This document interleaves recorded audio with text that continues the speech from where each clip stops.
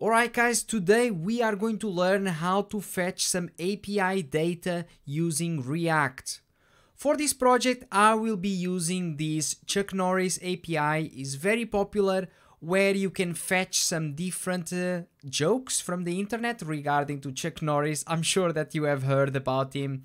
So I'm just gonna give you a quick overview about this project. So in here on the top, I have an input where I can search for a certain word.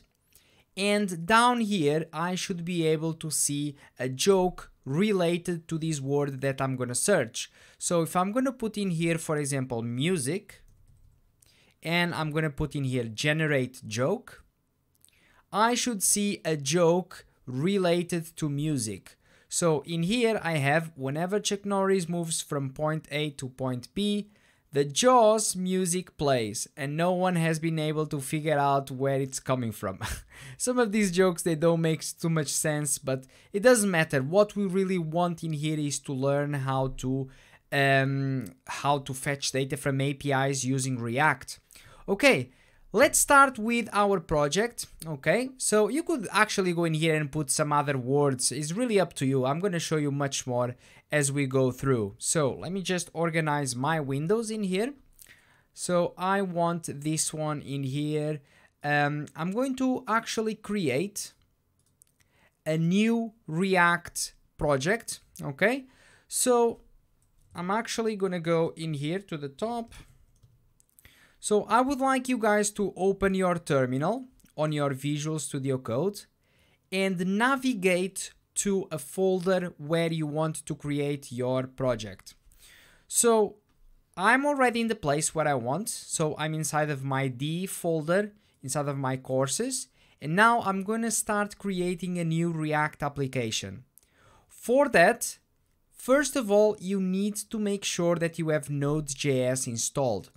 So if you go onto Google and you just go on to, let me put in here, um, download Node.js, okay?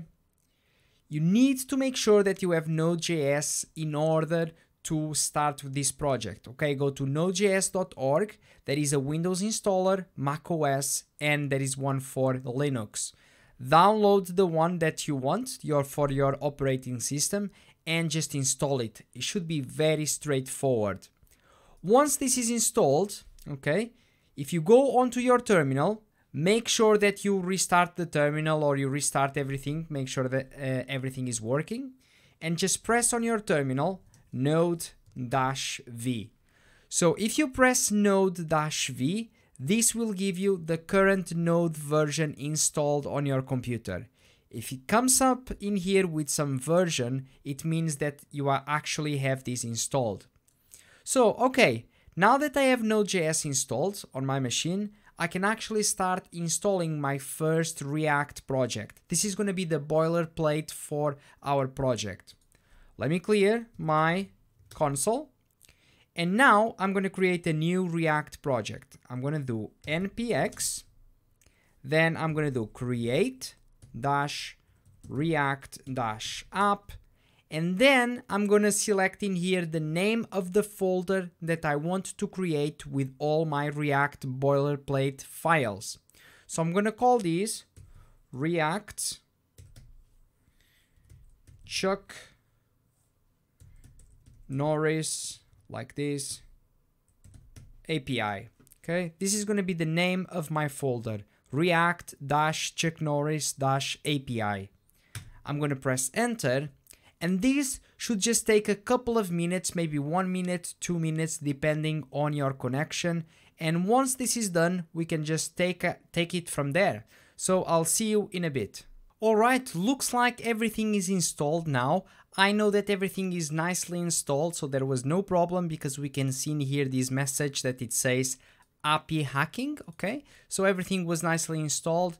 So the first thing I want to do is just open this folder that I just created. So I'm going to clear, I'm going to just shut down this terminal. I'm going to close in here everything on my Visual Studio Code.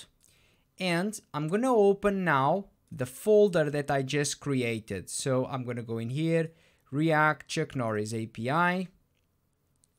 And now when I'm in here, you guys can see on the left side, you can see all the folders and the files of this project.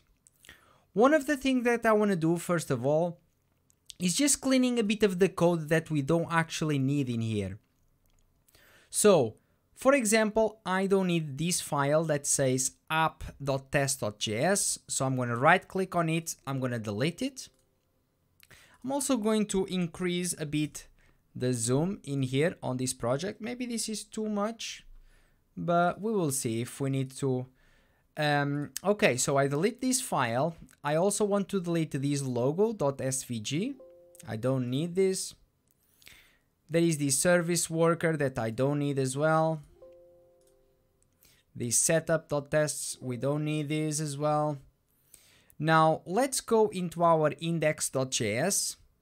There is a React strict mode in here that we don't need this for now as well. So we are just cleaning up a lot of things that we actually don't need for now for this project. So let's just clean this and this should be fine. Okay, let's save the file. Index.css, that's fine. In here, this app.css, I just want to delete everything in here for now. And in my app.js, I would like you guys to go inside of it. Let me just increase the size of this window a bit. I'm going to delete everything from inside. And now I'm just going to put a regular div inside and with a message of Chuck Norris API. Okay, so remember guys, one of the restrictions of React is that you need to have a parent element surrounding all your code. That's why we have in here this div. Okay, inside I have a h1 and in here this is where you're going to see something on the page. So this app.js file is going to be our main file that we are going to be using throughout this project. Let me just clear in here on the top this logo because we don't need it as well. Okay.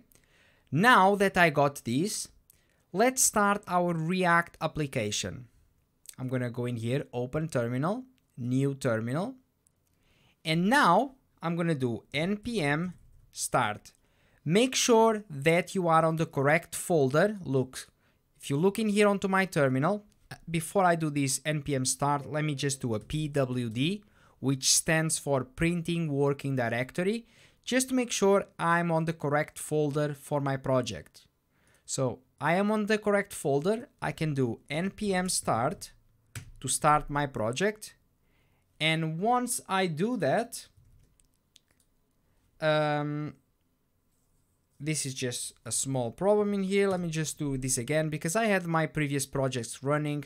Now this should be fine. Okay. It's just loading now. Um, there is a small problem in here on my index.js. Ah, because we got all of this stuff in our index.js that we don't need. Okay. Now, if I refresh the page, uh, there is still a problem in here on... Ah, on the top. I forgot this as well. So I think all the rest is fine.